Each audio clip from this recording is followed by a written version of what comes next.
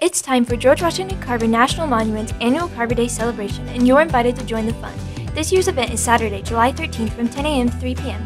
Learn about Carver's life and times through presentations by Dana Chandler and Lucy Phelps. Paxton Williams returns to present his popular one-person show as Carver. And plenty of music is planned, including performances by King Clarence Brewer, Arlisha Elgamel, and the Sensational Wonders. There will be free activities for people of all ages, including fun for kids. So mark your calendar for Carver Day on Saturday, July 13th at George Washington Carver National Monument.